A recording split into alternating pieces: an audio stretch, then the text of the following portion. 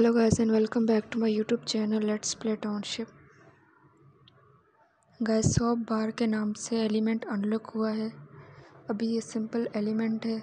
इसे आप मैच करके इसके साथ और इसमें से सॉप निकलेगा।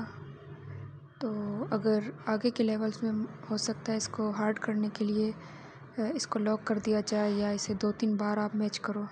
क्योंकि अभी तो मैंने ये सिर्फ़ एक ही बार मैच किया है तो इससे ये कंप्लीट हो गया है। ये ओपन हो गया मतलब।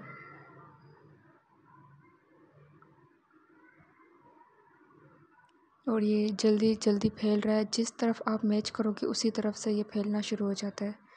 तो इसीलिए आप उसी तरफ़ मैच करें जहाँ से आपको पता है कि आप खेल सकते हो। Okay guys thank you for watching my video